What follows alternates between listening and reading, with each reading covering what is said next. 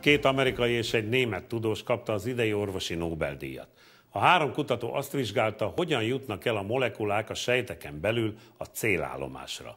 Kutatásaiknak köszönhetően ma többet tudunk a diabétesről és az Alzheimer kórról is.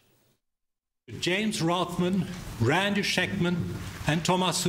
Stockholmban jelentette be a Karolinska Institút annak a három tudósnak a nevét, akik megosztva kapják az idei orvosi Nobel-díjat.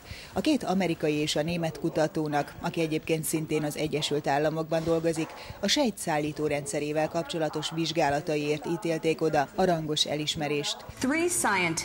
A három díjazott felfedezte azokat a molekuláris elveket, amelyek meghatározzák, hogy a molekuláris szállítmány miként jut el pontosan a megfelelő helyre, a megfelelő időben, a sejten belül, mondta a Nobel-bizottság elnöke. A tudósok kutatásai során kiderült, hogy minden egyes sejt egy apró ipari létesítményként működik, amely különböző molekulákat állít elő és exportál, hajszálnál is pontosabban eljutatva őket a célállomásra. A molekulák szállítása parányi hólyagokban, vagyis vezikulumokban történik.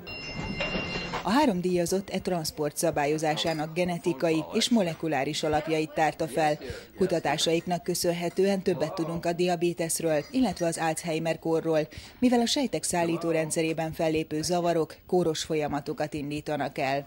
A legmagasabb orvostudományi elismeréssel összesen 8 millió svéd korona, átszámolva több mint 270 millió forint jár. A díjat december 10-én Alfred Nobel halálának évfordulóján adják majd át Stockholmban.